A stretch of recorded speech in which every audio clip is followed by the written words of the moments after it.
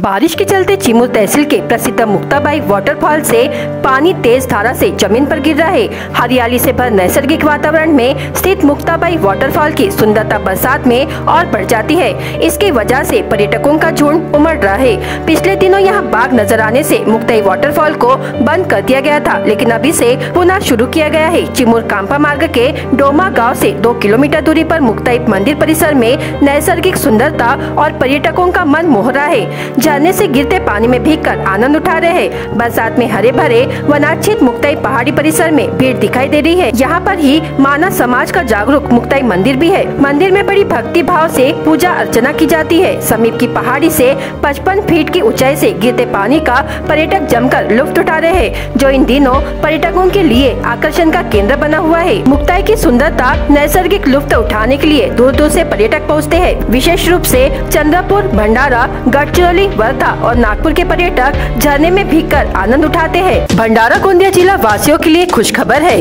अब आपका मनपसंद channel B S crime India news अब आपके केबल नेटवर्क पर। जी हाँ अपने केबल नेटवर्क के एशियन चैनल नंबर तेरह पर उपलब्ध है।